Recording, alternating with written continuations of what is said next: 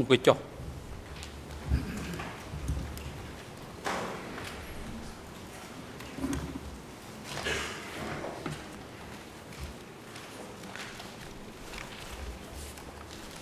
អង្គជំនុំជម្រះប្រកាសបន្តកិច្ចដំណើរការនីតិវិធីសម្ដែងការមន្ត្រីរដ្ឋបាលតុលាការអញ្ជើញដើមរងរដ្ឋមន្ត្រី TCCP 170ចូលមកកាន់កន្លែងផ្ដាល់តកកម្មនៅក្នុងបន្ទប់សម្ដែងការ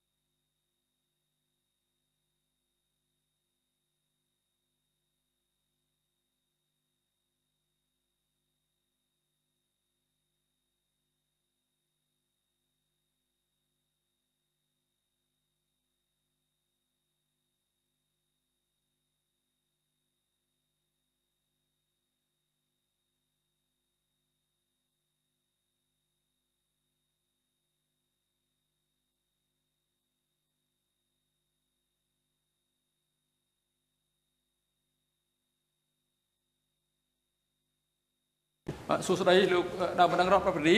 តើលោកឈ្មោះអី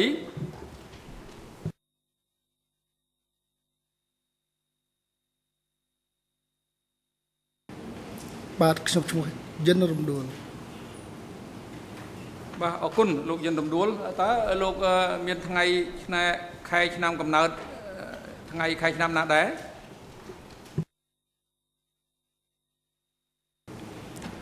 បាទសូមគោរពលោកប្រធាន ខ្ញុំសូមជម្រាបអំពីថ្ងៃខែឆ្នាំកំណើតរបស់ខ្ញុំបាទបន្តិចតាមពិតខ្ញុំកើតនៅឆ្នាំ1965មកទល់ពេលនេះអាយុ48ឆ្នាំហើយតែក្រោយឆ្នាំ1979ពាក់ព័ន្ធទៅនឹងការសិក្សារបស់ខ្ញុំនាយកសាលានៅពេលនោះគាត់បានបដូរអាយុឲ្យខ្ញុំដាក់នៅថ្ងៃទី11ខែសីហាឆ្នាំ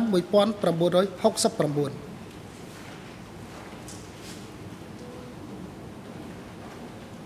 បាទអរគុណលោករំដួលហើយតើលោកមានទីកន្លែងកំណើតអឺកន្លែងណា ទីកន្លែងណា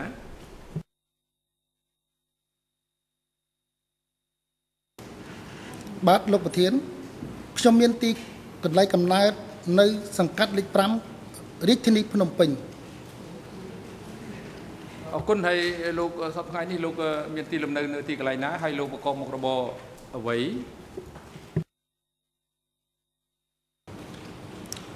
អរគុណលោកប្រធានសប្តាហ៍ថ្ងៃខ្ញុំរស់នៅខេត្តសៀមរាប នៅភូមិសាឡាកន្សែង សង្កាត់ស្វាយដង្គមក្រុងសៀមរាបខេត្តសៀមរាប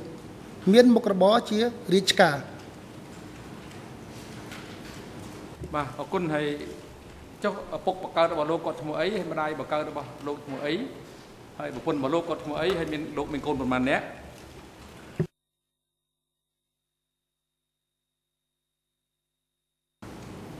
បាទសូមអរគុណលោកប្រធានឪពុករបស់ខ្ញុំបាទឈ្មោះលោកយិនស៊ីដារ៉េតម្ដាយខ្ញុំបាទឈ្មោះលោកស្រីកឹមឈនខ្ញុំមានភរិយា មានកូនពីរនាក់ក្នុងបន្ទុកបាទអរគុណលោកអឺយិនរំដួលនៅក្នុងអឺក្នុងនាមលោកជាដើមនឹងរដ្ឋប្រវេនីនៅក្នុងសកម្មភាពនេះអង្គជំនុំជម្រះលើដំបងផ្ដល់ឱកាស ឲ្យលោកអាចថ្លែងរៀបរាប់ប្រាប់ដល់អង្គសកម្មភាពអំពីស្ថានភាពទុកសោកវេទនានិងស្ថានភាពផ្ទះតនកម្មដែលកើតមានចំពោះលោកអឺជាអាចដូចជាការខូចខាតខាងផ្លូវកាយផ្លូវចិត្តនិងសម្ភារៈជាផ្ទះតនកម្មផ្ទាល់ខ្លួនដែលជាបច្ច័យដែលផ្ទាល់ពីបទអក្រិតនឹងបានកើតមានឡើងពិតប្រាកដរហូតដល់ពេលបច្ចុប្បន្ននេះដែលនាំឲ្យលោកតាំងខ្លួនជាដើមម្ដងរដ្ឋបវេនីនៅក្នុងរឿងក្តីនេះ ដែលពាក់ព័ន្ធទៅនឹងបទអក្រិតដែលត្រូវបានចោទប្រកាន់លើជនជាប់ចោទទាំងពីររូបគឺលោកនួនជានិងលោកខៀវសំផនដែលបានប៉ះពាល់ចំពោះលោកក្នុងអំឡុងពេលនៃរបបកម្ពុជាប្រជាធិបតេយ្យចាប់ពីថ្ងៃទី17ខែមេសាឆ្នាំ1975ដល់ថ្ងៃទី6ខែមករាឆ្នាំ1979បាទសូមអញ្ជើញ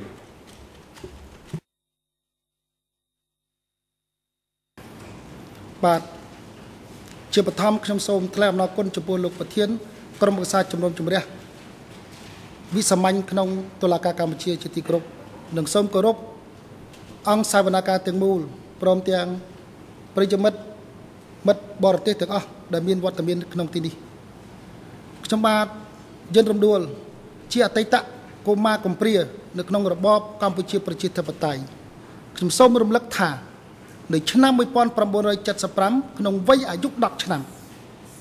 ខ្ញុំបាទជាកុមារម្នាក់ដែលមានការបិចបាច់គ្រប់គ្រងពីលោកឪពុកអ្នកម្ដាយដ៏ត្រឹមត្រូវបំផុតហើយក្នុងឋានៈជាកូនដ៏មានគុណធម៌ម្នាក់ចំពោះឪពុកម្ដាយក្នុងវ័យសិក្សា ពេលនោះខ្ញុំបានរៀននៅក្នុងថ្នាក់ទី9ចាស់នៅក្នុងសម័យសាធារណរដ្ឋខ្មែរឆ្នាំ1975ថ្ងៃទី17ខែមេសាខ្មែរក្រហមបាន ចូលកាន់កាប់ទីក្រុងភ្នំពេញ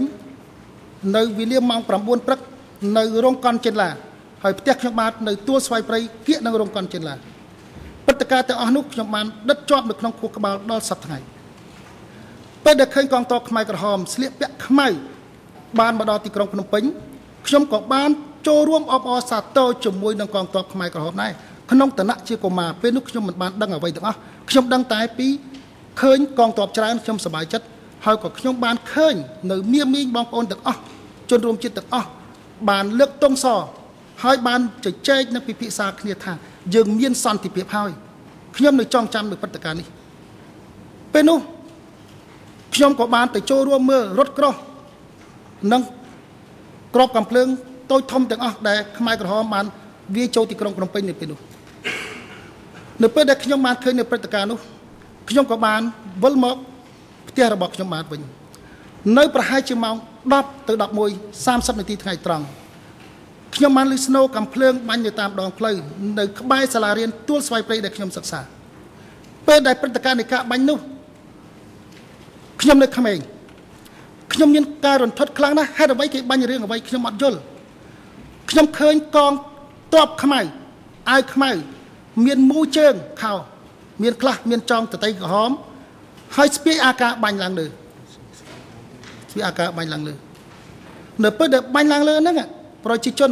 ដែលនៅក្នុងផ្ទះនោះមានការរន្ធត់បំផុតខ្ញុំជាកុមារភាពខ្ញុំសួរទៅម្ដាយខ្ញុំថា មានរឿងអីម៉ាក់នៅពេលនោះខ្ញុំហៅអ្នកម្ដាយរបស់ខ្ញុំគឺម៉ាក់មិនមែនហៅម៉ែដូចសម័យប៉ុលពតទេខ្ញុំម្ដាយខ្ញុំគាត់ថាកូនម៉ាក់ក៏មិនដឹងអីដែរ ព្រឹត្តិការណ៍កើតឡើងគឺបាញ់ចូលផ្ទះមួយនៅទល់មុខផ្ទះរបស់ខ្ញុំនៅក្បែរសាលារៀនទួលស្វាយព្រៃហ្នឹងពេលនោះមានទីហ៊ានម្នាក់ដែលខ្ញុំចាំប៉ុន្តែខ្ញុំមិនបានចាំឈ្មោះគាត់គាត់បាញ់បោះតវិញព្រឹត្តិការណ៍ប្រហែលជា5នាទីក្រោយមកឃើញខ្មែរក្រហម មានគ្រាកម្លាំងប្រហែលជា5នាក់ទៅ10នាក់បានបាញ់ផ្ទុកចូលមុខផ្ទះខ្ញុំតែម្ដងពេលនោះហើយមិនដឹងថាសោកនាដកម្មនៃការកាប់សម្លាប់ការបាញ់ប្រហាររបស់ខ្មែរក្រហមកងទ័ពខ្មែរក្រហមទៅលើផ្ទះនោះយ៉ាងដូចនេះទេខ្ញុំមិនបានដឹង នេះជាបញ្ហាមួយដែលខ្ញុំចង់ជម្រាបទៅអង្គសាវនកម្មយប់ឡើង គ្រួសារខ្ញុំ មានជីដូន និងជីតាជីតារបស់ខ្ញុំគាត់ជាមនុស្សដែលពិការមួយជំហៀងខ្លួនដោយសារគាត់មានជំងឺពេលហ្នឹងយើងមិនទាន់បានចេញពីទីក្រុងភ្នំពេញទេ នៅក្នុងឱកាសនោះខ្មែរក្រហមបានបាញ់សំណៅមកផ្ទះខ្ញុំខ្ញុំគ្រាន់តែនៅចងចាំថាក្របដែលបាញ់ចូលផ្ទះខ្ញុំប្រហែលជាក្របអាការឬអឹមសៃ ប៉ុន្តែប្រហែលនាទីក្រោយមកដោយសារយើងមិនបានចេញយើងនៅសង្ងំក្នុងផ្ទះមុននឹងបន្តិចជីដូនរបស់ខ្ញុំខ្ញុំនៅចាំគាត់អុចចង្គៀងក្រោយវាអត់មានអគិសនីពេលដែលឃើញភ្លឺចង្គៀងនោះខ្មែរក្រហមសួរស្រែកសួរថាហេតុអ្វីបានជាផ្ទះនេះឯងមិនចេញពេលនោះហើយខ្មែរក្រហមបានបាញ់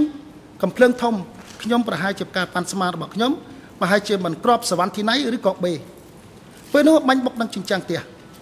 ខ្ញុំនិងម្ដាយខ្ញុំនិងក្រុមគ្រួសារខ្ញុំបងប្រុសរបស់ខ្ញុំឪពុកមារបស់ខ្ញុំ សម្រេចចេញពីទីក្រុងភ្នំពេញនៅពេលនោះក្រោយពីចេញមកនៅតាមដងផ្លូវខ្ញុំបានដើរកាត់ពេលនៅក្នុងជាកុមារខ្ញុំបានដើរកាត់តាមផ្លូវពេទ្យចិនទៅព្រះមនីវង្សខ្ញុំបានឃើញនៅសពនេតកម្មជាច្រើននៅពេលដែលយប់នោះព្រលឹមណាខ្ញុំបានដឹងអំពីបញ្ហាការចេញពីអំពើយងក្នុងរបស់របបខ្មែរក្រហមក្នុងនាមជាកុមារម្នាក់ពេលដែលខ្ញុំទៅដល់ច្បារអំពៅម៉ោង7ព្រឹក ខ្មែរក្រហមបានឆែកសួរបងប្រុសរបស់ខ្ញុំនិងបងជីដូនមួយរបស់ខ្ញុំថាឯងជាអ្វីបងខ្ញុំបានប្រាប់ថាគាត់ជាសិស្សបើឯងជាសិស្សឯងយកកាតមកឲ្យយើងពេលនោះបងប្រុសរបស់ខ្ញុំក៏បានយកកាតនិស្សិតឲ្យគាត់ពេលដែលយកកាតសិស្សឲ្យគាត់បានគាត់ឲ្យឬខ្លួន ក្រោយបានចេញពីក្បាលខ្នល់មកយើងក៏ទៅផ្ទះរបស់ម្ដាយខ្ញុំផ្ទះរបស់ជីតាខ្ញុំដែលមាននៅព្រែកឯងក្រោយពីសំណាក់នៅព្រែកឯងមិនបានប្រហែលថ្ងៃផង យើងឃើញថាសភាពការនៃការរស់នៅក្នុងស្រុកព្រែកឯងពុំមានអ្វីគួរឲ្យទទួលយកបានទេពីព្រោះយើងគ្មានស្បៀងអាហារមនុស្សស្លាប់នៅតាមដងដាក់តាមទន្លេតាមផ្លូវអញ្ចឹងម្ដាយខ្ញុំនិងឪពុកខ្ញុំសំទោសម្ដាយខ្ញុំនិងបងប្រុសខ្ញុំត្រូវដាក់បង្ខំចិត្តទៅរកស្រុកកំណើតខាងម្ដាយនៅក្នុងឃុំកោអុកញ៉ាតីស្រុកសាច់កណាខេត្តកណាក្រោយពីបានបំលាស់ខ្លួនពីព្រែកឯងពីស្រុកកំណើតរបស់ជីតារបស់ខ្ញុំ ទៅស្រុកសាច់កណាខេត្តកណ្ដាលខ្មែរក្រហមមេភូមិមេបកនៅក្នុងតំបន់ភូមិកោអញ្ញតីស្រុកសាច់កណ្ដាលខេត្តកណ្ដាលមិនបានឲ្យយើងនៅស្ងៀមទេពីព្រោះគេដឹងអំពីសាវតានៃក្រុមគ្រួសារខ្ញុំពីព្រោះឪពុកខ្ញុំជាសាស្ត្រាចារ្យផងនិងជានាយទាហានជាន់ខ្ពស់នៅក្នុងសម័យសាធារណរដ្ឋប៉ុន្តែថានៅក្នុងសម័យសាធារណរដ្ឋខ្មែរផងអញ្ចឹងហើយគេក៏ជំនះខ្ញុំចេញពីឃុំកោអញ្ញតីស្រុកសាច់កណ្ដាលខេត្តកណ្ដាលទៅ ឃុំវិហារសួរស្រុកសាច់កណ្ដាលខេត្តកណ្ដាលនៅក្នុងភូមិមេបាំងព្រឹត្តិការណ៍ទាំងអស់នេះខ្ញុំចង់ចាំបានទាំងអស់ខ្ញុំដើរជាមួយនឹងឪពុកតែជាមួយនឹងម្ដាយខ្ញុំបងខ្ញុំជីដូនខ្ញុំជាមួយនឹងជីតារបស់ខ្ញុំដែលពីការមួយជំហៀងខ្លួនយើងអស់រទេសទៅក្រោយពីរស់នៅក្នុងភូមិមេបាំងឃុំវិហារសួរស្រុកសាច់កណ្ដាលខេត្តកណ្ដាលអស់រយៈប្រមាណខែកន្លងមកកងទ័ពខ្មែរក្រហម ឬក៏មេភូមិមេឆ្លប់ខ្មែរក្រហមក៏ជំនះយើងចេញពីភូមិមេបាំងភូមិវិហារសួរស្រុកសាច់កណ្ដាលខេត្តកណ្ដាលនេះទៀត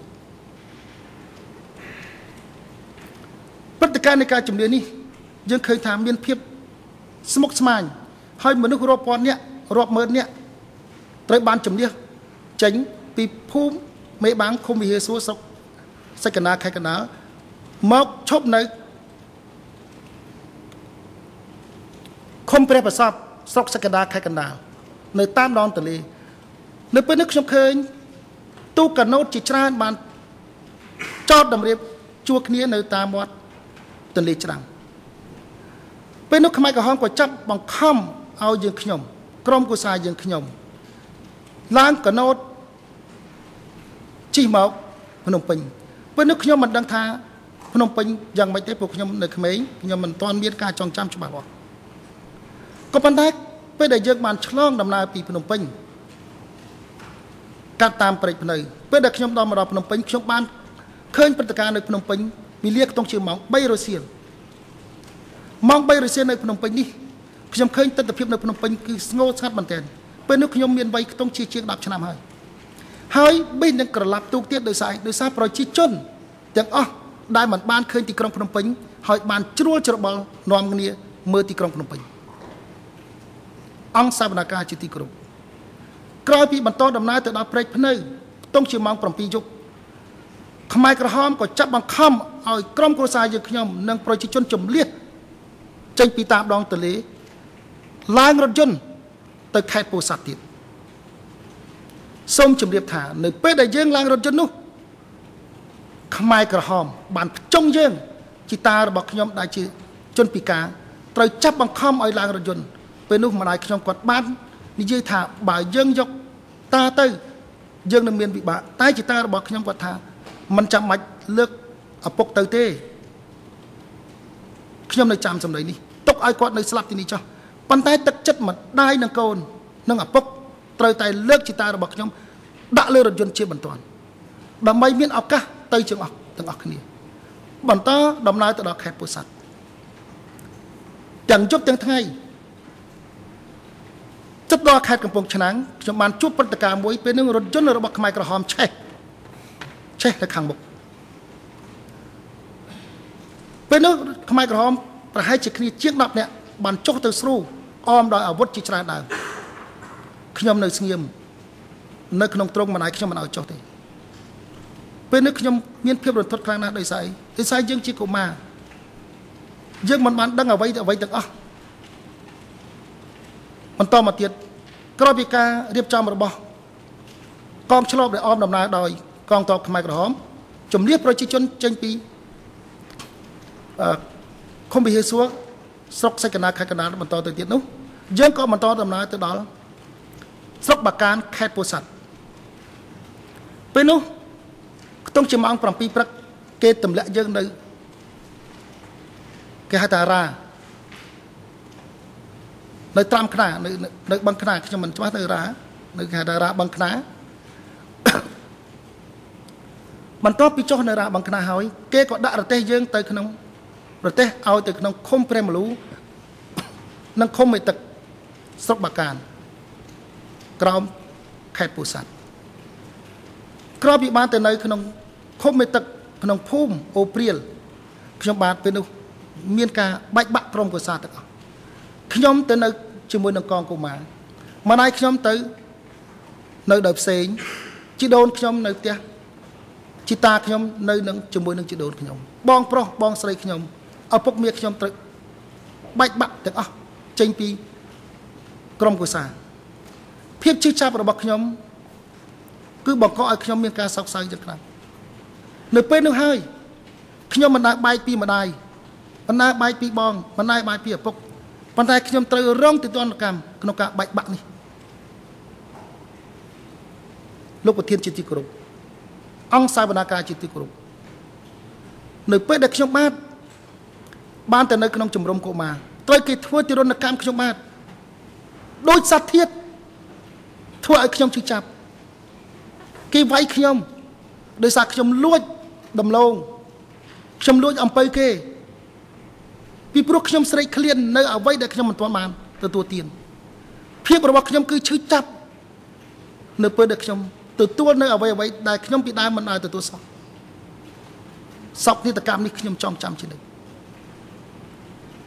គេធ្វើបាបខ្ញុំ គេចងខ្ញុំ គេវាយបំបែកចិញ្ចើមខ្ញុំមកទល់សប្តាហ៍ថ្ងៃខ្ញុំរត់បរកម្ដាយម្ដាយខ្ញុំពុំមានលទ្ធភាពអោបបន្សាបកូនទេ ឆ្លប់របស់កងកុមារបានចាប់ខ្ញុំយកទៅវិញរហូតទៅដល់ខ្ញុំបែកចេញពីម្ដាយភាពជឿចាប់របស់ខ្ញុំនៅពេលដែលខ្ញុំប្រត់ពីម្ដាយខ្ញុំចុកចាប់ប៉ុណ្ណាលោកប្រធានមានកូន អង្គសវនកម្មទាំងមូលមានកូនមានចៅលោកជ្រាបហើយ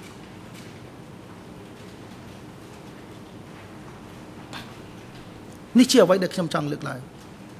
បន្ទាប់មកទៀតនៅពេលដែលខ្ញុំបែកចេញពីម្ដាយ ខ្ញុំស្រេកឃ្លានខ្ញុំបានទៅលួចសំណាបគេនៅពេលយប់មួយខ្ញុំបានទៅលួចសំណាបគេដែលកំពុងតែសាបពីល្ងាចយប់ឡើងខ្ញុំទៅលួចសំណាបយកមកទទួលទានទាំងស្រូវទាំងដីនៅក្នុងមាត់នៅពេលនោះជាសពនេតកម្មមួយដែលខ្ញុំឈឺចាប់ក្នុងជីវិតរបស់ខ្ញុំត្រូវមេភូមិម្នាក់បានមកចាប់វាយខ្ញុំទាត់ធាក់ខ្ញុំរហូតប្រគល់ឲ្យខ្ញុំទៅកងឆ្លងពេលនោះ ម្ដាយខ្ញុំនៅក្នុងមន្ទីរពេទ្យកងឆ្លងគេយកខ្ញុំ ទៅពេលនោះម្ដាយខ្ញុំមិនទាន់បាន ដឹងរឿងអ្វីទេ ហើយគាត់សួរខ្ញុំថាកូនមានរឿងអីខ្ញុំបានប្រាប់ម្ដាយខ្ញុំថាខ្ញុំបានលួចសំណាប់គេត្រូវមេភូមិមេឆ្លប់ចាប់បានហើយម៉ាក់សំទោសម៉ែក្រោយពីបាន ចាប់ខ្ញុំចងជាប់ហើយម្ដាយខ្ញុំក្នុងឋានៈជាម្ដាយនឹងកូន គាត់ថាបើចាប់កូនគាត់ក៏ដូចចាប់ខ្ញុំដែរចាប់កូនគាត់ក៏ដូចចាប់ខ្ញុំដែរនៅពេលនោះខ្ញុំត្រូវបានកងឆ្លប់បណ្ដើជាមួយនឹងម្ដាយទៅគុកនៅក្នុងឃុំមេទឹកស្រុកបាកានក្រោមខេត្តពោធិ៍សាត់ការរស់នៅក្នុងឃុំខាងមន្ទីរឃុំខាងនៅក្នុងគុកមេទឹកនេះខ្ញុំមានភាពលំបាកខ្លាំងណាស់ពីព្រោះខ្ញុំស្គមហើម លោកប្រធានជ្រាបហើយពោពេញទៅដោយការអត់អាហារខ្ញុំអត់មានអ្វីទទួលទានខ្ញុំទៅដល់គេវាយខ្ញុំស្លាប់ម្ដង នៅក្នុងគុកហ្នឹងព្រឹកឡើងគេឲ្យខ្ញុំងើបឡើងដើម្បីសួរចម្លើយខ្ញុំត្រូវទទួលទរណកម្មទៀតហើយគេចាប់បង្ខំឲ្យខ្ញុំជាកុមារទៅធ្វើការយ៉ាងតំងន់កាប់ដីជីកប្រឡាយដកស្ទូង ខ្ញុំគ្មានអ្វីទាំងអស់ពេលនោះក្រោយពីការធ្វើទរណកម្មយ៉ាងខុសខើរបស់កងទ័ពខ្មែរក្រហមនិងកងឆ្លប់ខ្មែរក្រហមនិងរបបដឹកនាំរបស់ខ្មែរក្រហមថ្ងៃមួយមេបកមេភូមិកងទ័ពខ្មែរក្រហមគេបានកោះប្រជុំគ្នាថាបើសិនជាគ្រួសារណាមួយរត់ចេញពីគុកគេនឹងកំទេចគ្រួសារនេះចោលនៅពេលនោះខ្ញុំក៏បាន ឆ្លៀតឱកាសពិភាក្សាជាមួយម្ដាយថាម៉ាក់បើម៉ាក់នៅក៏ស្លាប់កូននៅក៏ស្លាប់អញ្ចឹងតើម៉ាក់គិតយ៉ាងម៉េចម្ដាយខ្ញុំគាត់បានគិតថា កូនត្រូវតែរត់នៅក្នុងពន្ធនាគារនោះនៅពេលដែលខ្ញុំចាប់ផ្ដើមយកខួរក្បាលគិតខ្ញុំនឹងរត់ ខ្ញុំក៏បានសម្រេចចិត្តសួរម្ដាយម្ដងទៀតថាម៉ាក់អនុញ្ញាតឲ្យកូនទៅទេគាត់ឆ្លើយថាត្រូវតែទៅកូនបើសិនជាកូនទៅកូនអាចមានសំណាងនឹងរស់ប៉ុន្តែម្ដាយខ្ញុំត្រូវស្លាប់ក្នុងរបបប៉ុលពតនៅពេលដែរខ្ញុំបានរត់ចេញពីគុកនៅម៉ោង8យប់ពេលដែលមានភ្លៀងនឹងផ្លូវចកានៅពេលដែលឆ្លបខ្មែរក្រហមបានបដូរវេនគ្នាយាម ហើយកណោយើងនៅក្មេងយើងតូចស្គមវាមិនអាចសូវចាប់អារម្មណ៍ដូចមនុស្សចាស់ទេខ្ញុំសម្រេចចិត្តរត់ទាំងយប់ក្រោម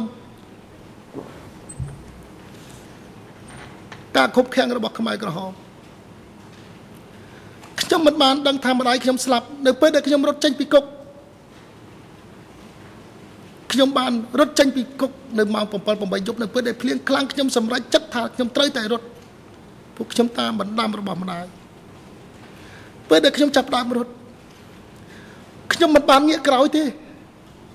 ខ្ញុំសម្រុកយ៉ាងម៉េចឲ្យទៅដល់ភូមិអូព្រាលដែលជាដូនរបស់ខ្ញុំរស់នៅ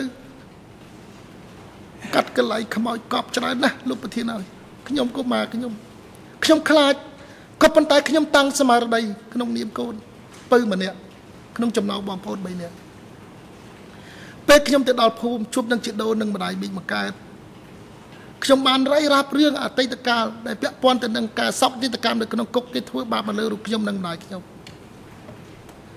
ពេលនោះខ្ញុំជម្រាបម្ដាយមីងខ្ញុំថាអ្នកមីងម៉ាក់ឲ្យទៅយកអីវ៉ាន់បន្តិចបន្តួច ដែលនៅជាប់នឹងចង្កេះរបស់គាត់ប៉ុន្តែជាការអកុសលរបស់ខ្ញុំទៅពេលតែម្ដាយមីងរបស់ខ្ញុំ បានចេញដំណើរទៅសួរ ទីខំខាំងនេះដែលដាក់ពន្ធនាគារម្ដាយខ្ញុំគេបានប្រាប់ថាម្ដាយខ្ញុំត្រូវស្លាប់តាំងពីម៉ោង3ទៅហើយខ្ញុំចុកចាប់ណាស់លោកប្រធានខ្ញុំចុកចាប់ជាទីបំផុតក្នុងឋានៈជាកូនម្នាក់ខ្ញុំយំខ្ញុំថាអស់ហើយជីវិតខ្ញុំខ្ញុំស្រែកទៅហូរយំជាដូនម្ដាយមីងលួងចិត្តគេនឹងសម្បិះនឹងសម្លាប់ម្ដាយមីងខ្ញុំទៀតគេថាមិត្តនារីឯងមកធ្វើអី ចង់ស្លាប់ដូចបងមិត្តនារីឯងដែរឬទេពេលនោះហើយតែខ្ញុំទទួលនៅសពនិតកម្មយ៉ាងកំសត់ក្នុងឋានៈជាកូនខ្មែរម្នាក់ហើយជាកុមាររងគ្រោះដែលដឹកនាំដោយលោកខៀវសំផននិងអៀងស្រីនេះនិងប៉ុលពតនួនជានេះខ្ញុំចុកចាប់ណាខ្ញុំសូមជម្រាបលោកប្រធានក្រោយពី ឪពុកម្ដាយខ្ញុំម្ដាយខ្ញុំបានសម្លាប់នៅក្នុងគុកម្ដាយមីងក៏បានប្រាប់ខ្ញុំគិតថាពេលនោះគេនឹងតាមសម្លាប់ខ្ញុំទៀតពីព្រោះគេថាគេនឹងកំទេចទាំងអស់បន្តមកទៀតខ្ញុំក៏បានចេញពីភូមិទៅជួបនឹងបងជីដូនមួយរបស់ខ្ញុំដែលជាកងដឹកជញ្ជូនខ្ញុំក៏ទៅសុំបងថាបងខ្ញុំអស់ទីពំដឹងហើយពេលនោះបងរបស់ខ្ញុំ បានទៅតាក់ទងមេកងដឹកជញ្ជូនម្នាក់ឈ្មោះពូទឿដែលជាអ្នកមានគុណក្នុងការសង្គ្រោះជីវិតខ្ញុំពូនោះដោយសារការខ្វះអ្នកខ្វៀលគោក្របីគាត់ក៏សម្រេចចិត្តឲ្យខ្ញុំ នៅជាមួយនឹងកងដឹកជញ្ជូនពេលនោះនៅពេលដែលខ្ញុំរស់នៅក្នុងកងដឹកជញ្ជូនក្នុងនាមជាកុមារគេនឹងប៉ុនប៉ងយកសម្រាប់ច្រើនលើកច្រើនសារចំពោះខ្ញុំក៏ប៉ុន្តែត្រូវបានពូទឿ ជាអ្នកការពារចំពោះរូបខ្ញុំដោយគាត់បានឆ្លើយទៅប្រាប់មេឆ្លប់ថាកុំធ្វើបាបវា វានៅក្មេងទេវាមិនទាន់ដឹងអីទាំងអស់ប៉ុន្តែសប្តាហ៍ខ្ញុំសូមជម្រាបអង្គសាវនាការទាំងមូលថាពូទឿបានស្លាប់ហើយខ្ញុំបានទៅធ្វើបានគាត់នៅពោធិ៍សាត់ក្នុងឋានៈជាកូនចិញ្ចឹមក្រោយពីបានរស់នៅជាមួយនឹងពូទឿ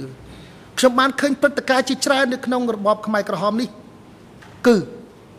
ការធ្វើទរណកម្មការកាប់សម្លាប់ ជាពិសេស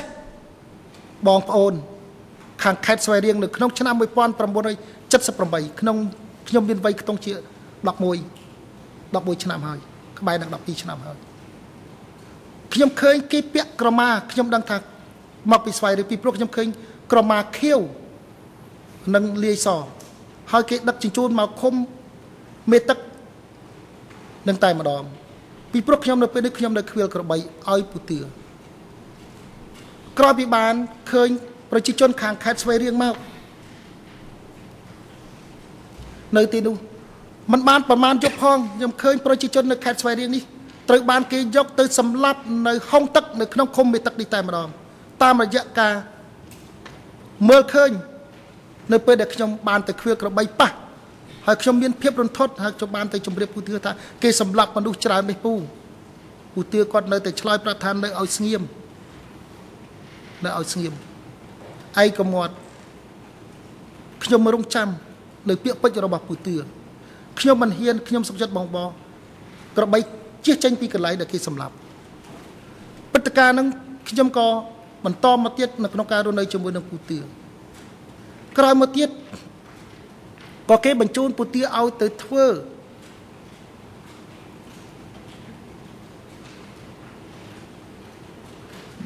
អឺ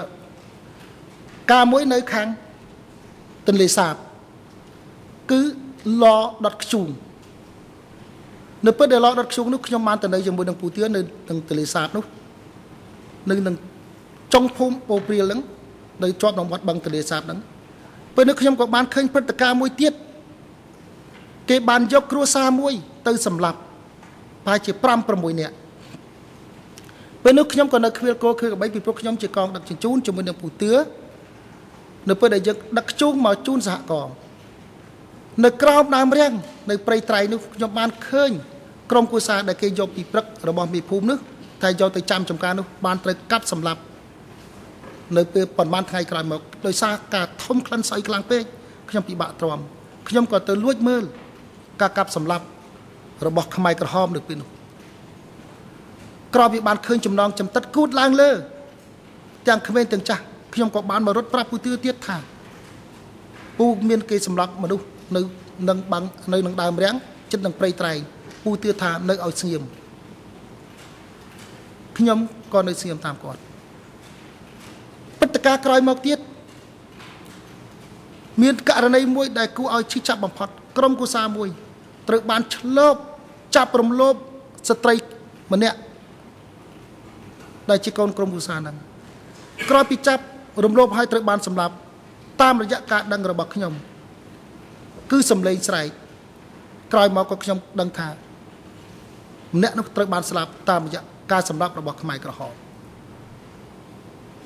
ការណ៍ទាំងអស់នេះជាព្រឹត្តិការណ៍មួយដែលចុកចាប់បំផុតនៅក្នុងជីវិតរបស់ខ្ញុំក្នុងឋានៈជាកុមារក្នុងវ័យអាយុប្រហែលជា12ឆ្នាំអង្គសាវនាទាំងមូលជាទីគោរពអ្វីអ្វីដែលខ្ញុំបានស្ដាយឡើងនៅថ្ងៃនេះខ្ញុំសូមជម្រាបទៅអង្គសាវនានិងជនរួមជាតិនិងប្រជាជាតិនៅលើពិភពលោកឲ្យបានជ្រាបថាសោកនាដកម្មនៅក្នុងរបបប៉ុលពតគឺខុសខើប្រៃផ្សៃជាងសត្វដេរឆានទៅទៀត ខ្ញុំចុកចាប់ណាស់ខ្ញុំបាត់បង់ឪពុកបាត់បង់ម្ដាយបាត់បង់ឪពុកមាជាទីស្រឡាញ់របស់ខ្ញុំខ្ញុំចង់ឲ្យគាត់សងមកវិញ នៅអ្វីដែលគាត់ជំពាក់ខ្ញុំក្នុងឋានៈជាមេដឹកនាំរដ្ឋមួយគាត់ត្រូវតែហ៊ានទទួលខុសត្រូវចំពោះទង្វើដ៏លីមួករបស់គាត់ គាត់ត្រូវតែបើកកកាយនៅទំព័រប្រវត្តិសាស្ត្រសម្រាប់ប្រជាជាតិកម្ពុជា និងប្រជាជនពិភពលោកឲ្យគេដឹងថាអំពើអាក្រក់របស់គាត់ដែលបង្កឡើងដោយរបបខ្មែរក្រហមនេះវាខុសខើប៉ុណ្ណាក្នុងឋានៈជាមេដឹកនាំរដ្ឋមួយ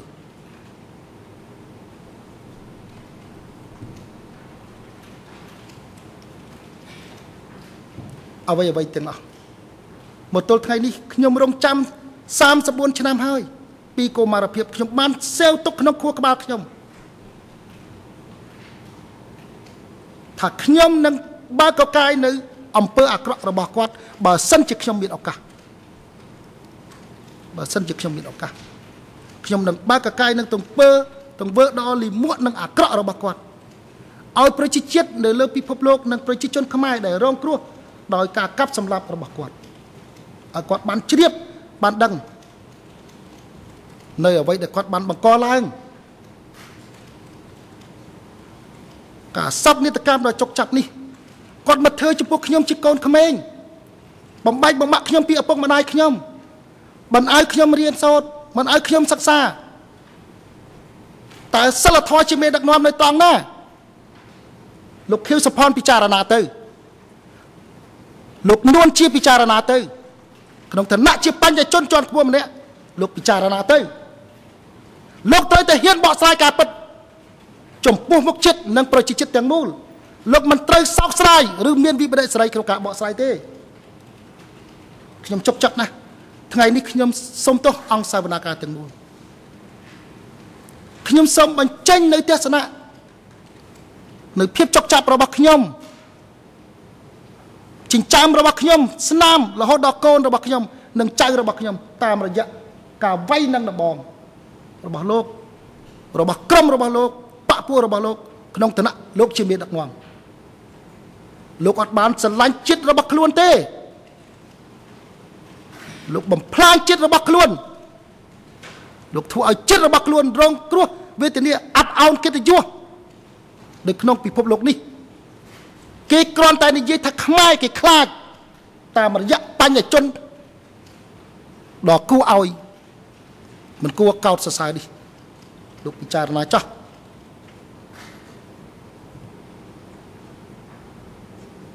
បាទបាទអរគុណណាស់ហើយពេលវេលានៅបន្តិចទៀតទេគឺពេលវេលានៅតែ12មីនិតទៀតទេហើយលោកស្រីមេធាវីថាមានទំនោរអីទៅសួរទេហើយប្រយ័ត្នអស់ពេលព្រោះតំណងជាលោកយិនដំរួលមានសំណួរមួយចំនួនធួដល់ជនជាប់ចោតផង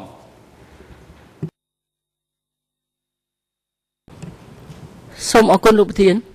សូមគោរពលោកប្រធានសូមគោរពអឺ ក្រុមប្រឹក្សាជំនុំជម្រះនិងសូមគោរពអង្គសំណាក់ការទាំងមូលខ្ញុំជាតិវណ្ឌីជាមេធាវីដើមរងរដ្ឋបាវិនី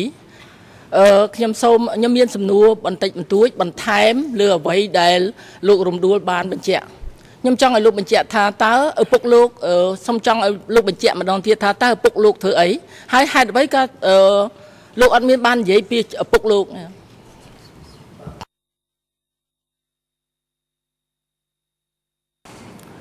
សូមអរគុណ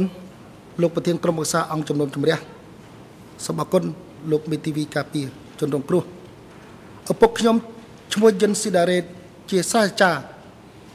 និងជានាយទាហានជាន់ខ្ពស់នៅក្នុងរបបខ្មែរក្រហមនៅថ្ងៃទី16មេសា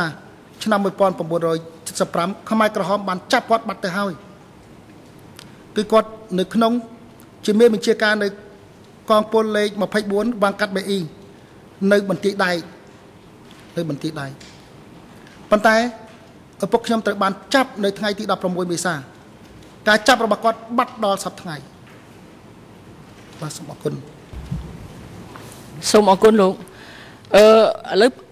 ចំពោះមុខនេះតើលោកមានសំណូមពរអ្វីចំពោះតុលាការទេ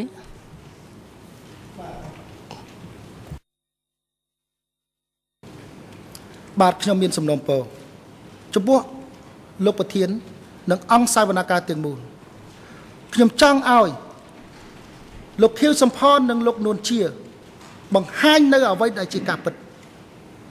សម្រាប់សំទោសលោកសំទោសគឺថាលោកមានសំណូមពរអ្វីចំពោះតឡាការអត់ទាន់ដល់សំណួរលោកមានសំណូមពរដូចម្ដេចចំពោះតឡាការលោកមានទៀមទាសំណងឬបញ្ហាទេ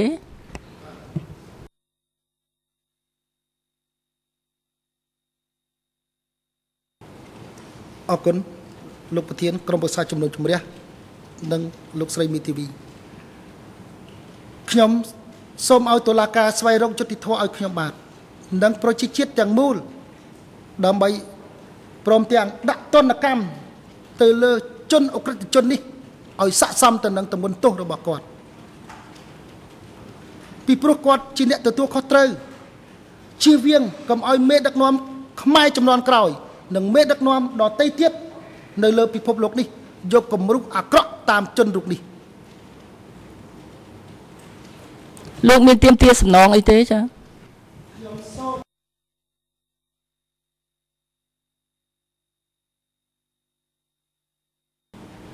ខ្ញុំមិនទាទាសំឡងអ្វីទេប៉ុន្តែខ្ញុំសូមឲ្យអង្គសាវនាការទាំងមូលគ្រាន់តែធ្វើស្នោកជូនលោកឪពុកអ្នកម្ដាយជាទីគោរពរបស់ខ្ញុំ នៅក្នុងឃុំកោះអុកញ៉ាតី ស្រុកសាច់កណ្ដាលខេត្តកណ្ដាលតែប៉ុណ្ណឹងបានហើយសូមអរគុណលោកតើលោកមានសំណួរអ្វីសួរដល់ជនជាប់ចោតទេ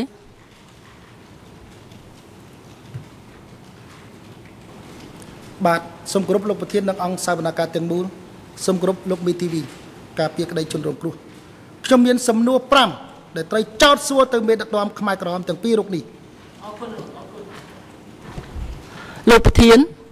អឺ សូមលោកប្រធានអនុញ្ញាតឲ្យអឺកូនក្តីរបស់យើងខ្ញុំសួរសំណួរទៅជនជាប់ចោតសូមអនុញ្ញាតលោកប្រធានបាទលោកអឺរំដួលអឺលោកមានសិទ្ធិក្នុងការតាំងសំណួរចំពោះអឺជនជាប់ចោតប៉ុន្តែសំណួរលោកមិនអាចធ្វើផ្ទាល់ជាមួយនឹងជនជាប់ចោតបានទេសំណួរលោកត្រូវធ្វើតាមរយៈប្រធានអង្គជំជំរះគឺតាមរយៈរូបយើង ដូច្នេះគឺអឺសួរមកយើងអឺដើម្បីយើងបញ្ជូនសំណួរនោះទៅជនជាប់ចោតដើម្បីឲ្យគាត់ឆ្លើយតបនឹងលោកក្នុងករណីគាត់អឺអឺប្រើសិទ្ធិគាត់ក្នុងការឆ្លើយតបសូមអញ្ជើញ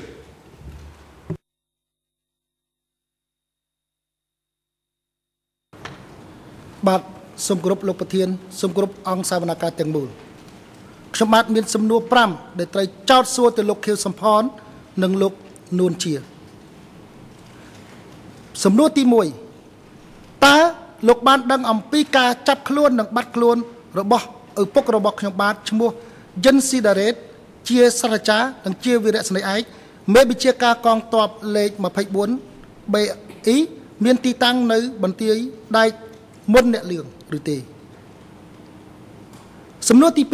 2តើលោកមានដែលគិតដល់ពីផលវិបាកនៃការកាប់សម្លាប់ ការព្រាត់ប្រាសគ្រួសារដែលខ្មែរក្រហម បានបង្កឡើង ដោយរូបលោកផ្ទាល់ដែរឬទេតើលោកមានការភ្ញាក់រលឹកនិងមានវិបដិសារីចំពោះការចូលរួមរបស់លោក ក្នុងរបបនេះ ដែលបានបង្កការឈឺចាប់ដល់ប្រជាជនខ្មែរទាំងមូលដែរឬទេ សំណួរទី3 ក្នុងឋានៈលោកជាបញ្ញជនជាន់ខ្ពស់ម្នាក់តើលោកហ៊ានធ្វើការបកស្រាយនៅការពិតនៅហេតុការណ៍ដែលកើតឡើងក្នុងរបបខ្មែរក្រហមឲ្យប្រជាជាតិនិងប្រជាជនពិភពលោកទាំងមូលបានដឹងដែរឬទេ ក្នុងឋានៈលោកជាមេដឹកនាំកម្ពុជាហើយក្នុងឋានៈលោកជាបញ្ញាជនជាន់ខ្ពស់ដែលលោកបានប្រើប្រាស់កន្លងមក ហើយបានទទួលនៅភាពល្បីល្បាញ ពីសម័យសង្គមរាស្ត្រនិយមនិងសាធារណរដ្ឋខ្មែរតាមរយៈការដឹងនិងការស្រាវជ្រាវរបស់ខ្ញុំសំណួរទី4តើលោកមានគំនិត ក្នុងការសុំទោសដល់ប្រជាជនកម្ពុជាទេជាពិសេសក្នុងនាមដើមបណ្ដឹងរដ្ឋបវេនីក្នុងនាមខ្លួនខ្ញុំផ្ទាល់សំណួរទី5ក្នុងនាមជាប្រធានគណៈរដ្ឋនៃរបបកម្ពុជាប្រជាធិបតេយ្យ តើលោកបានដឹងអ្វីខ្លះអំពីកម្រិតជីវភាពនៃការរស់នៅរបស់ប្រជាជន ដែលរងគ្រោះដោយការអត់ឃ្លាន និងការកាប់សម្លាប់ការខំខាំងការចាប់ខ្លួន ការធ្វើទារុណកម្មដ៏ខុសខើក្នុងរបបរបស់លោកដែរឬទេសូមអរគុណលោកប្រធានក្រុមប្រឹក្សាចំនួនជំរះនិងអង្គសាវនាការទាំងមូលសំណួរទាំង5របស់ខ្ញុំបាទមានត្រឹមតែប៉ុណ្ណេះសូមអរគុណ អរគុណឥឡូវនេះអង្គជំរះសូមបញ្ជូននៅសំណួរទាំង5របស់ដើមរដ្ឋមន្ត្រីនេះជូនទៅជនជាប់ចោតខឿសំផនដើម្បីឆ្លើយតបនឹងសំណួរនេះមុនលោកនួនជាលោកខឿសំផន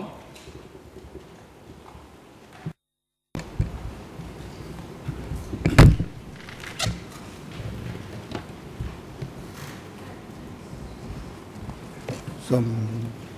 គោរពលោកប្រធានសូមគោរព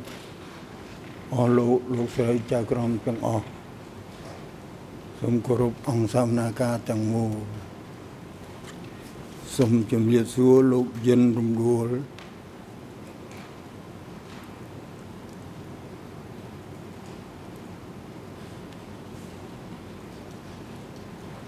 ខ្ញុំសូមជម្រាបលោកថាបើខ្ញុំជាលោកវិញខ្ញុំក៏មានការឈឺចាប់ហើយសោកសង្រេងដូចលោកដែរ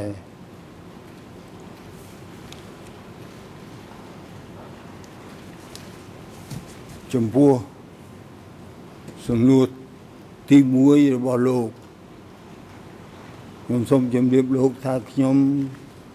មិនដែលបានស្គាល់ឪពុកលោកនោះទេ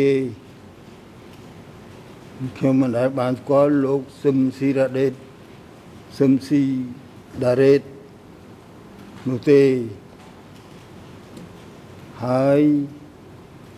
ខ្ញុំសោកស្ដាយណាស់ដោយឪពុកលោក ត្រូវបានគេសម្លាប់ដោយខូខើ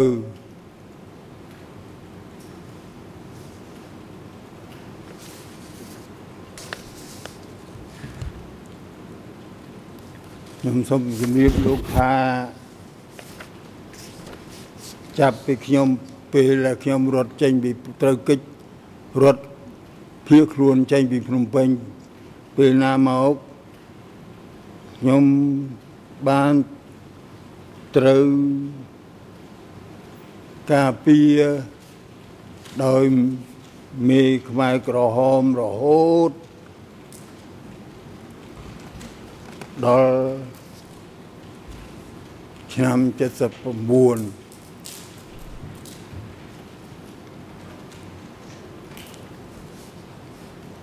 ដូច្នេះខ្ញុំត្រូវរស់នៅ ហៅថាដោយដាច់ពី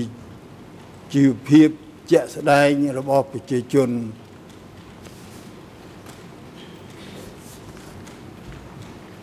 រហូតមកដែររាប់សិបឆ្នាំ កាលពីឆ្នាំ70ដល់ឆ្នាំ79ដោយខ្ញុំត្រូវរស់នៅ ជាប់ជាមួយអ្នកដឹកនាំកម្ពុជាប្រជាធិបតេយ្យ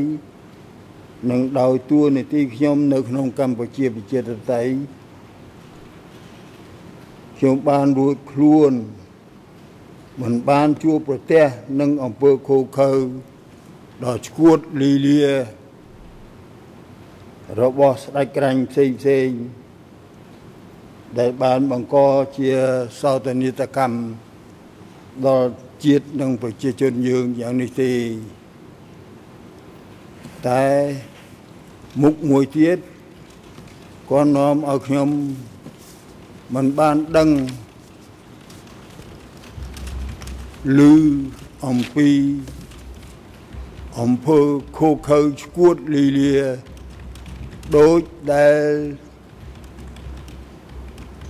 ដើមបណ្ដឹងរដ្ឋរដ្ឋបវេនីជាបន្តបន្ទាប់ ហើយក្រោយនេះលោកបានអញ្ជើញមករៀបរាប់នៅតុលាការនេះដែរពិតមែនហើយខ្ញុំមិនមែនជាអ្នកមនោគមវិជ្ជាទេក៏ប៉ុន្តែខ្ញុំជាអ្នកដែលមានអារម្មណ៍កតេមួយ គឺអារម្មណ៍កតេ រួមចំណែកធ្វើម៉េចកសាងប្រទេសយើងឲ្យបានរីកចម្រើនជឿនលឿននិងការពារប្រទេសយើងឲ្យបានរស់គង់វង្ស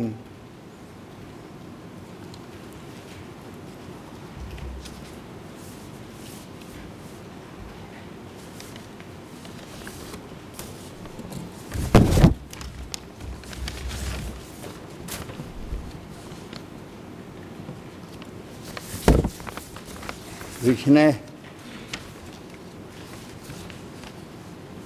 ចំពោះសំណួរទី2របស់លោកក៏ខ្ញុំមានការសោកស្ដាយហើយខ្ញុំយល់ឃើញថាត្រូវតែចាប់ស្ដាច់ក្រាញ់ដែលបានអំប្រប្រព្រឹត្តអំពើខុសខើដល់ឈួតលីលាទាំងនោះយកមកកាត់ទោស ឲ្យស័កសមទៅតាមធាតខូខើឈួតលីលារបស់វា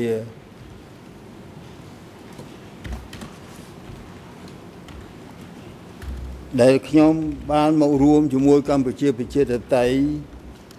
មិនមែនដើម្បីសម្រាប់រង្គាលខ្មែរគ្នាឯងទេ គឺដើម្បីថារួមចំណែកការពារជាតិឲ្យ រស់គង់វង្សហើយក្រោយតទៅទៀតកសាងជាតិឲ្យបានរីកចម្រើន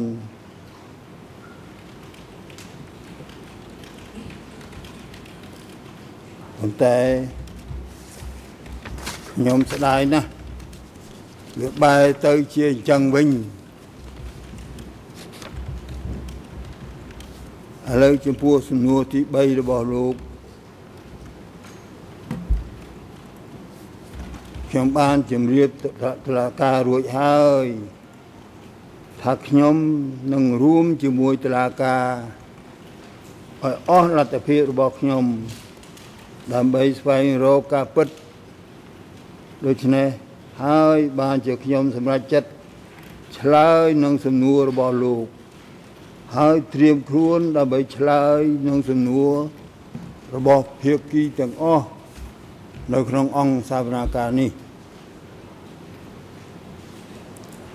ចំពោះសំណួរទី4របស់លោកខ្ញុំសូមជម្រាបលោកថាពីម្សិលមិញខ្ញុំបានលើកដៃសំពះសុំទោសលោកស្រីហួរចន្ទថាហើយតាមរយៈលោកស្រីហួរចន្ទថាក៏ខ្ញុំសូមទោសប្រជាជនខ្មែរយើងទាំងមូលទាំងអស់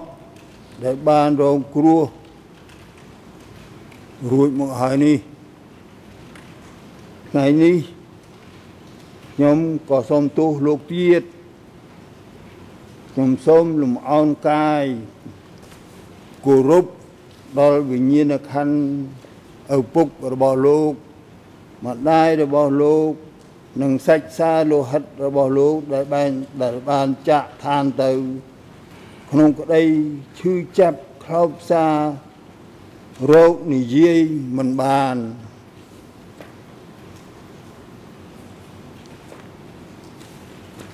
សំណួរទី5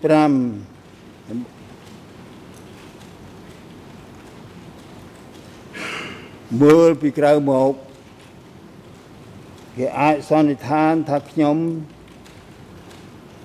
ជាមេដឹកនាំធំពិតមែនហើយ ខ្ញុំមានស្លាកធំណាស់តែខ្ញុំគ្មានអំណាចជាក់ស្ដែង ដើម្បីចាប់អ្នកនេះចាប់អ្នកនោះទេហើយដោយបានខ្ញុំជំរាបខាងលើខ្ញុំមិនបានដឹងនៅសភាពការប្រជាជនយើង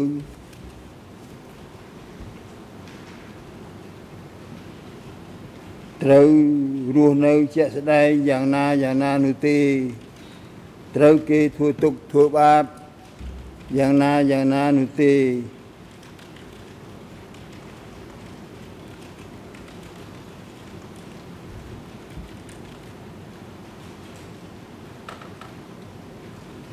ឬមួយក៏ត្រូវគេចាប់ចងដាក់គុកច្បាក់យ៉ាងណាយ៉ាងណានោះទេ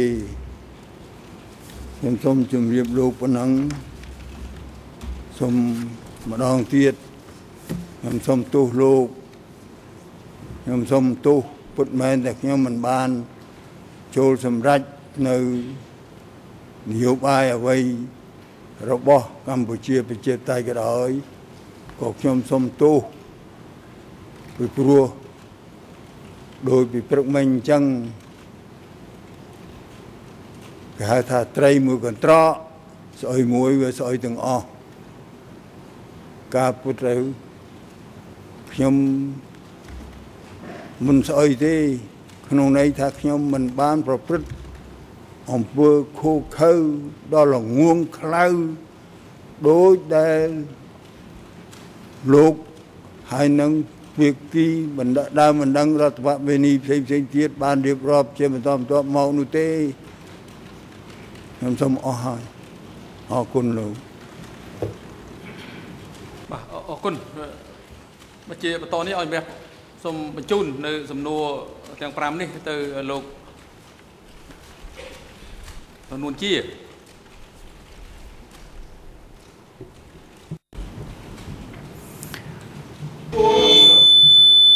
នួនជា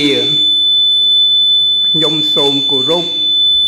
អង្គសវនាការអង្គជំនុំជម្រះ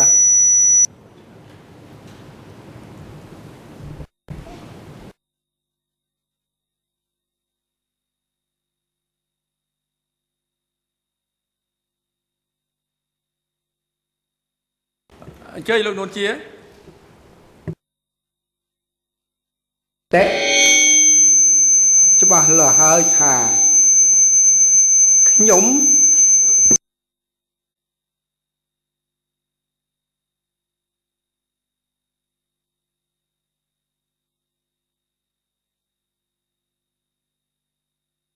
លោកនួនជាបងអង្គផ្អាកសិនលោកនួនជាដូចជាមានបញ្ហាបច្ចេកទេសខាងសំឡេងនិងរូបភាពមិនឃើញហើយនឹងស្ដាប់សំឡេងមិនបានទេ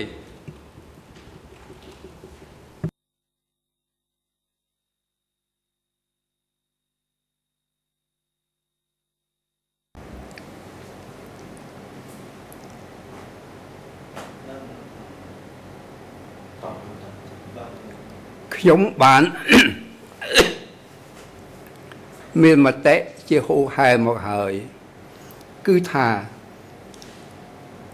ខ្ញុំសូមទទួលខុសត្រូវទាំងអស់នៅអ្វីដែលកើតមកកន្លងមកក្នុងសម័យកម្ពុជាប្រជាធិបតេយ្យដូច្នោះខ្ញុំមិនកិច្ចវេះទៅណាទេ ខាងផ្លូវចិត្តខ្ញុំសូមទទួលការខុសត្រូវទាំងអស់ដោយ ស្មោះអស់ពីចិត្តនេះសូមជម្រាបដោយត្រង់ពីព្រោះក្នុងឋានៈជាសមាជិកម្នាក់របស់កម្ពុជាប្រជាធិបតេយ្យខ្ញុំហ៊ានទទួលខុសត្រូវ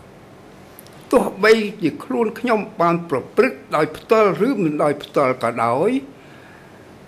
តែខ្ញុំសោកស្ដាយណាស់ចំពោះព្រឹត្តិការណ៍ទាំងឡាយ ដែលកើតឡើងដោយចេតនាឬអចេតនាហើយទោះបីជាខ្ញុំដឹងឬមិនដឹងក៏ដោយខ្ញុំសូមបញ្ជាក់ហើយបញ្ជាក់ទៀតថាខ្ញុំទទួលខុសត្រូវទាំងអស់ខាងផ្លូវចិត្តខ្ញុំសូមជម្រាបបញ្ជាក់អញ្ចឹងក្នុងឱកាសនេះខ្ញុំសូមចូលរួមមរណទុក្ខការសោកស្ដាយចំពោះការបាត់បង់គ្រួសារ របស់លោករំដួលតាមខ្ញុំចាំឈ្មោះលោករំដួលដូច្នោះនេះហើយតទៅនេះខ្ញុំសូមបញ្ជាក់ម្ដងទៀតនៅទួនាទីនិងភារកិច្ចរបស់ខ្ញុំ ក្នុងសម័យកម្ពុជាប្រជាធិបតេយ្យខទី1ខ្ញុំជាសមាជិកអចិន្ត្រៃយ៍ អនុលេខាសមាជិកគណៈអចិន្ត្រៃយ៍បកកុម្មុយនីសកម្ពុជាទទួលខាងការអប់រំរៀនសូត្រផ្ទីក្នុងបកខទី2ខ្ញុំទទួលភារកិច្ចជាប្រធានគណៈកម្មការសភាតំណាងប្រជាជនកម្ពុជាភារកិច្ចរបស់ខ្ញុំ មាន2ប៉ុណ្ណឹងទេឯខាងនីតិបញ្ញត្តិនីតិបដិបត្តិខ្ញុំមិនមានទូទទួលនេតិអ្វីទេនេះខ្ញុំសូមបញ្ជាក់ប៉ុណ្ណឹងហេតុដូច្នោះសូមឲ្យតុលាការវិនិច្ឆ័យទៅចុះខ្ញុំមិនមានអ្វីក្រៅពីការស្មោះត្រង់ចូលរួម ការតស៊ូដើម្បីជាតិប្រជាជនរបស់ខ្ញុំប៉ុណ្ណោះទេសូមបញ្ជាក់សូមគោរពលោកប្រធាន បាទអរគុណ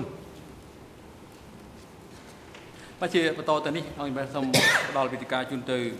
តំណាងសហប្រញ្ញាដើម្បីមានឱកាសតាំងទម្រង់ដេញដោលចំពោះដើមម្ដងរដ្ឋវិនីយិនរំដួលប្រសិនបើដើមខាងតំណាងថាប្រញ្ញាមានសំណួរសូមអញ្ជើញបាទបាទសូមអរគុណលោកប្រធាន ជាបឋមសូមគោរពលោកប្រធានលោកលោកស្រីចក្រមនិង ភិក្ខីទាំងអស់ដែលមានវត្តមាននៅទីនេះហើយសូមអឺសួស្ដីលោកយិនរំដួលផងដែរបាទអឺលោកយិនរំដួលខ្ញុំជាមួយសហការីអន្តរជាតិរបស់ខ្ញុំមកពីការិយាល័យសហប្រញ្ញាហើយខ្ញុំមានសំណួរមួយចំនួនតូចចង់ឲ្យលោកជួយបញ្ជាក់នៅអ្វីដែលលោកបានឆ្លើយមុននេះអឺមុននេះលោកបានជម្រាបជូនអង្គសវនាការថា នៅថ្ងៃទី17ខែមេសា ឆ្នាំ1975អឺមានការបាញ់ចូលទៅផ្ទះដែលថាផ្ទះទល់មុខអ្នកចិត្តខាងលោកហ្នឹងគឺទល់មុខផ្ទះលោកហ្នឹងតើលោកដឹងទេថាហេតុអីបានជាមានការបាញ់ទៅក្នុងនោះ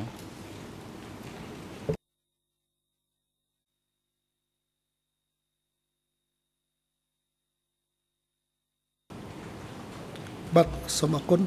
លោកប្រធានក្រុមប្រឹក្សាជំនុំជម្រះសូមអរគុណលោកសហប្រធានព្រាញ្ញាព្រឹត្តិការណ៍នៃការបាញ់នោះខ្ញុំបានដឹងឃើញនឹងភ្នែកគឺមុនដំបូងខ្មែរក្រហមបាញ់ឡើងលើឬក៏បាញ់ខ្ចុចដីដើម្បីឲ្យប្រជាជនចេញពីទីក្រុងភ្នំពេញប៉ុន្តែផ្ទះនៅខាងមុខខ្ញុំបាទនេះគឺជាផ្ទះនាយទាហានម្នាក់ដែលខ្ញុំធ្លាប់ស្គាល់ពេលនោះគាត់ក៏បាញ់តចេញពីក្នុងផ្ទះហ្នឹងវិញប្រហែលជា3 4គ្រាប់ពេលដែលពេលបាញ់តនោះប្រហែលនាទីក្រោយមកបានឃើញកម្លាំងខ្មែរក្រហម បានបាញ់បុកចូលផ្ទះនោះតែម្ដងពេលនោះហើយសភាពការត្រូវបានស្ងាត់ស្ងាត់ទាំងអស់ទាំងផ្ទះខ្ញុំទាំងផ្ទះខាងនោះគឺលែងបានតាក់ទងគ្នាហើយពីព្រោះព្រឹត្តិការណ៍នោះគឺយើងរកព្រះអាយុរៀងខ្លួនសូមអរគុណបាទអរគុណតើលោកអាចបញ្ជាក់ឲ្យច្បាស់បន្តិចទៀតបានទេថាផ្ទះនាយទាហាននោះជានាយទាហានខាងណាដែរ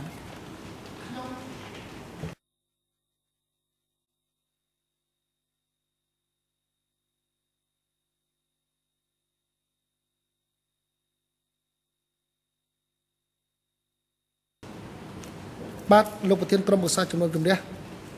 លោកស័កព្រាអញ្ញាផ្ទះដែលខ្ញុំបាទឃើញតែគេមានការបាញ់តនោះតាមខ្ញុំដឹងពីព្រោះផ្ទះនោះខ្ញុំធ្លាប់ទៅលេងធ្លាប់ទៅបេះផ្លែត្របែកគឺជាផ្ទះនីតិហ៊ានបាទខ្ញុំនៅចាំប្រហែលជាខ្ទង់ឋានៈអនុសេនីយ៍ឯករបបសាធារណរដ្ឋខ្មែរបាទអរគុណចុះក្នុងអំឡុងពេលនោះដែរ លោកមានដឹងអ្វីខ្លះទៀតដែរទេតកតងទៅនឹងជាដូចជាទាហាននៃរបបសាធារណរដ្ឋខ្មែរឬក៏ជាមន្ត្រីរដ្ឋការតើនៅពេលនោះលោកបានដឹងព័ត៌មានអីឬក៏បានឃើញផ្ទាល់ភ្នែកអ្វីខ្លះទេតកតងនឹងមន្ត្រីទាំងនោះនៅអំឡុងពេលដែលខ្មែរក្រហមចូលកាន់កាប់ទីក្រុងភ្នំពេញនោះ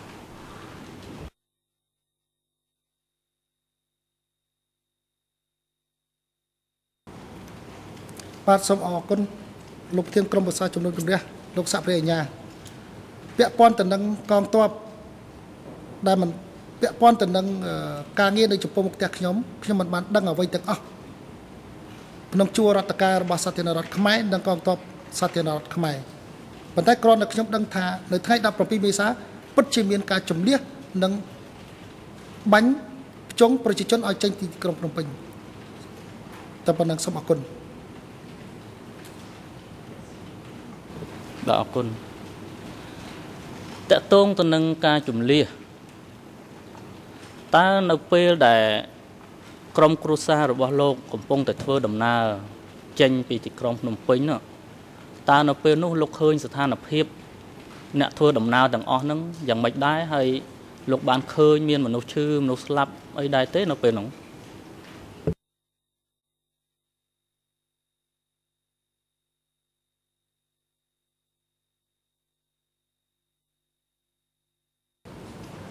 បាទសូមគោរពលោកប្រធានសូមគោរពសហប្រញ្ញាខ្ញុំបានឃើញយ៉ាងច្បាស់ពេលនោះខ្ញុំវ័យ10ឆ្នាំហើយខ្ញុំឃើញសោកនាដកម្មនៃការរុញរទេះតើរថយន្តជាពិសេសបងប្រុសខ្ញុំមិននឹងមានរថយន្តមិនមានសាំងចាក់រថយន្តផងខ្ញុំត្រូវបានរកស៊ីក្លូបងខ្ញុំឪពុកមីខ្ញុំរកស៊ីក្លូហើយមនុស្សនៅតាមដងផ្លូវយើងឃើញថាមានសោកនាដកម្មខ្លាំងណាស់ទាំងអ្នកត្រូវរបួសអ្នកសែងអ្នកខ្លះសែងអ្នកខ្លះជួសេរ៉ូម ក្មេងហើយសាកសពនៅតាមដងផ្លូវខ្ញុំបានឃើញនៅពេលដែលគេមាននឹងចាប់បងប្រុសរបស់ខ្ញុំនៅក្បាលខ្នល់ខ្ញុំឃើញសាកសពប្រហែលជា4 5នាក់នៅនឹងក្អែបក្បាលខ្នល់ហ្នឹងខ្ញុំបានឃើញទស្សនវិជ្ជានេះហើយទស្សនវិជ្ជានៃការសេកឃ្លាននៃការអត់ឃ្លាននៅពេលនោះខ្ញុំជាកុមារក៏ខ្ញុំត្រូវបានឪពុកម្ដាយរបស់ខ្ញុំសំទោសម្ដាយរបស់ខ្ញុំដាក់រើលរទេះរុញនេះនៅពេលនោះខ្ញុំបានឃើញប៉ុន្តែអ្វីអ្វីទាំងអស់នៅពេលនោះខ្ញុំគ្រាន់បានតែឃើញមិនដឹងថាខ្ញុំមានលទ្ធភាព នឹងជួយគាត់យ៉ាងម៉េចខ្ញុំពុំមានទេគ្រាន់បានតែត្រឹមតែមកឃើញពីព្រោះគ្រួសារខ្ញុំក៏ជាគ្រួសាររងគ្រោះដែរ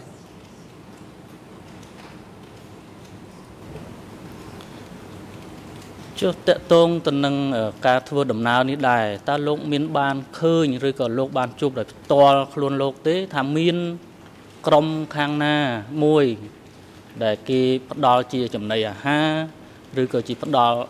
ការការពារព្យាបាលសុខភាពតើមានទេ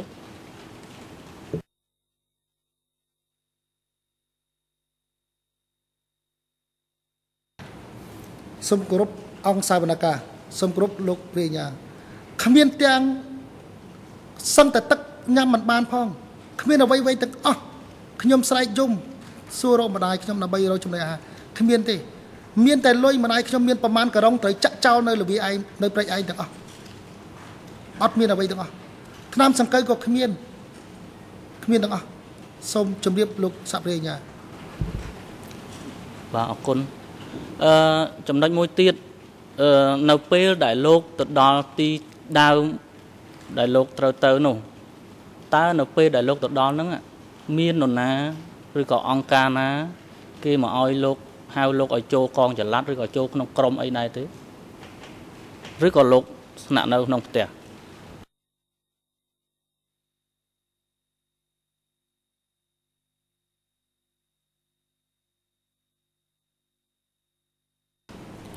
បាទសូមគោរពលោកប្រធាននិងអង្គសាវនាការទាំងមូល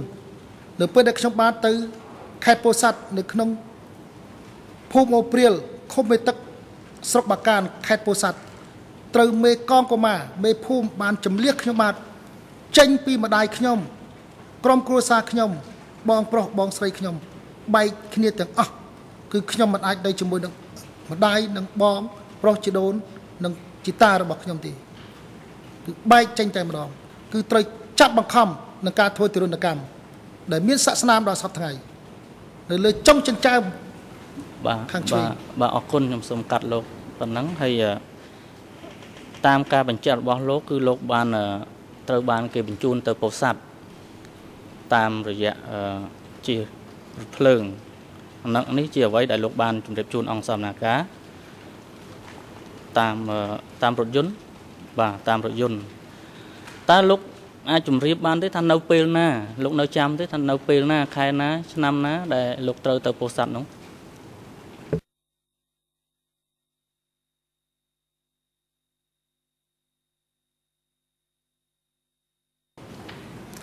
បាទសូមគោរពលោកប្រធាននិងអង្គសាវនាការទាំងមូលខ្ញុំអាចចាំបានថានៅក្នុងចុងឆ្នាំ75ដើមឆ្នាំ76ខ្ញុំចាំតែប៉ុណ្្នឹងទេថ្ងៃខែខ្ញុំមិនចាំទេបាទប៉ុណ្ណឹងគ្រប់គ្រាន់អឺចំណុចមួយទៀតតើការដែលគេបញ្ជូនលោកក៏ដូចជា ក្រុមគ្រួសាររបស់លោក ទៅកាន់ ខេត្តពោធិ៍សាត់នោះតើគេមានបានប្រាប់លោកថាទៅធ្វើអីទេ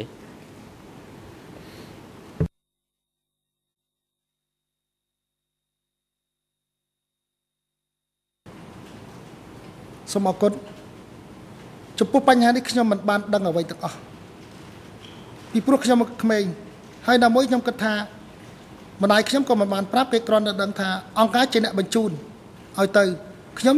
ក្នុងនាមជាកូនខ្ញុំត្រូវតាមម្ដាយ ខ្ញុំទៅជាមួយម្ដាយរឿងបញ្ហាបញ្ជូនឲ្យទៅធ្វើអ្វី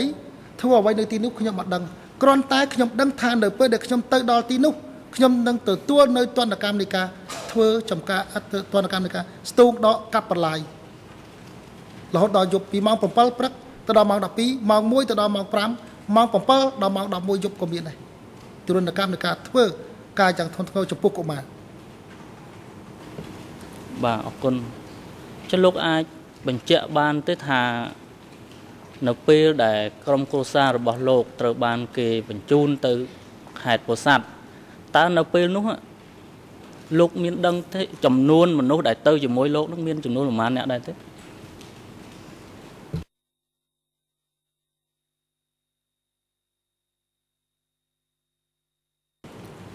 បាទសូមគោរពលោកប្រធានក្រុមប្រឹក្សាជំនុំជម្រះលោកស័កព្រះអញ្ញា ខ្ញុំមិនអាចកណនីអំពីចំនួនប្រជាជនដែលធ្វើដំណើរតាមការបង្ខំរបស់ខ្មែរក្រហមបានទេពីព្រោះច្រើនពេក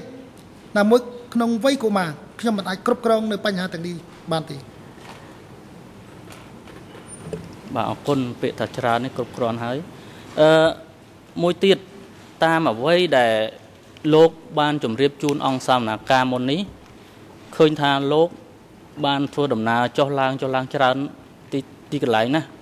នៅក្នុងខេត្តពោធិ៍សាត់ហ្នឹងចឹងលោកធ្លាប់ដែរឮឬក៏ឃើញឬក៏តាទឿដែលជាអាណាព្យាបាលលោកហ្នឹងគាត់បាននិយាយពីឈ្មោះទីកន្លែងមួយ ដែលមានឈ្មោះថាទួលពោជ័យដែរទេនៅពេលនោះ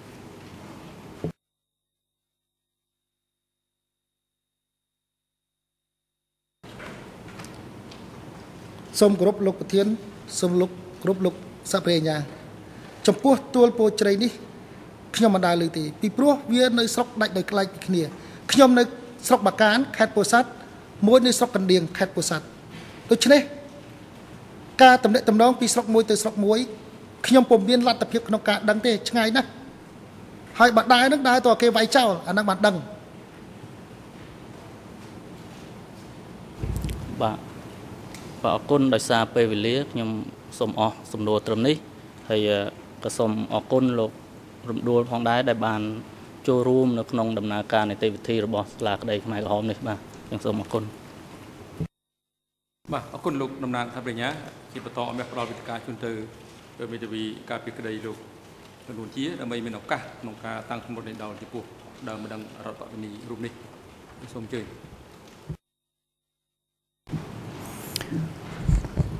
សូមគោរពក្រុមប្រឹក្សាសូមគោរពលោកប្រធាន ជំរាបសួរលោករំដួលខ្ញុំក្នុងនាមលោកនួនជាខ្ញុំមិនមានសំណួរអីសួរលោករំដួលថ្ងៃនេះទេសូមអរគុណអរគុណជាបន្តឲ្យមេផ្ដល់វិធីការជូនទៅក្រុមវិទ្យាការពីក្តីលោកខៀវសំផនដើម្បីដើម្បីមានឱកាសតាំងធម្មរដល់ចំពោះដើមម្ដងរដ្ឋបវេនីរូបនេះសូមអញ្ជើញសូមអរគុណលោកប្រធានសូមគោរពអង្គសវនាការ ក្នុងនាមលោកខៀវសំផនយើងខ្ញុំអត់មានសំណួរសម្រាប់ដើមម្ដងរដ្ឋរដ្ឋពេលនេះរូបនេះទេបាទសូមអរគុណ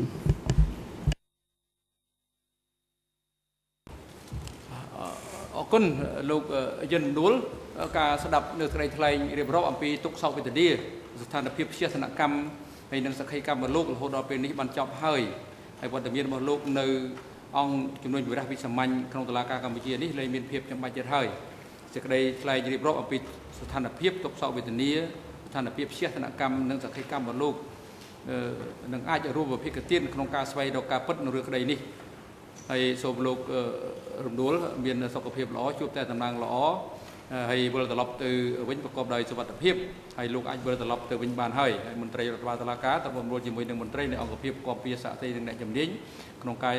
ជូនលោកយិនរំដួលវិលត្រឡប់ទៅកាន់ទីកន្លែងជាគោលដៅដែលគាត់មានបំណងចង់ទៅឬទីកន្លែងស្នាក់នៅរបស់គាត់ឬលំនៅឋានរបស់គាត់ទៅវិញបានហើយហើយលើនេះដល់ពេលសម្រាប់ហើយឲ្យមានប្រកាសសម្រាប់ចាប់ពី